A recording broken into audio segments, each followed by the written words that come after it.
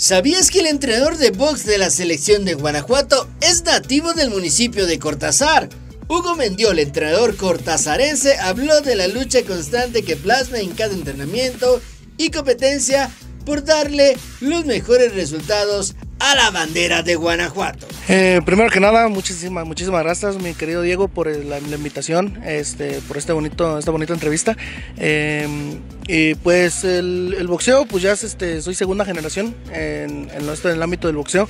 Mi padre lo empezó, Esteban Mendiola, también conocido como el gato Mendiola.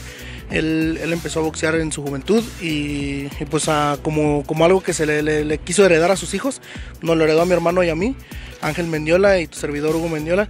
Y pues empecé desde, pues ahora sí, pues desde que nací me lo iba inculcando de, este, en, mi, en mi crianza y empecé a, empezando a caminar, empezando a, a, tener noción de las cosas, fue como con eso empecé en lo que fue, eh, pues más que nada así como, como entrenador, como coach, este, no, no soy tanto así como de cazatalentos que se le llame, este, pues, simplemente el trabajar con, con, los alumnos que me siguen, eh, impulsarlos, apoyarlos y sí, la verdad sí siento que estoy en un momento importante.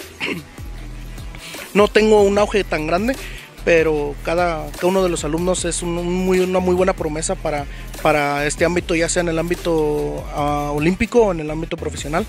Este, la verdad, este, sí, sí veo mucha, mucho futuro en estos alumnos, tanto con los que pues la verdad ya, ya han logrado muchísimo en, en este Desde el 2006 ya he estado en, en, como entrenador en la selección de Guanajuato.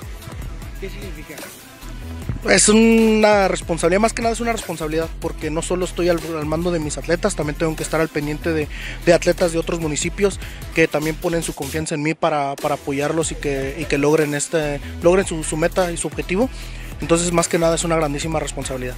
Eh, hoy, obviamente, para mí es un gran orgullo que me tomen en cuenta para eso. Y, y pues, la verdad, feliz, muy, muy contento. Destacó que gracias a los buenos resultados que han conseguido sus alumnos, es parte del equipo de entrenadores de Guanajuato.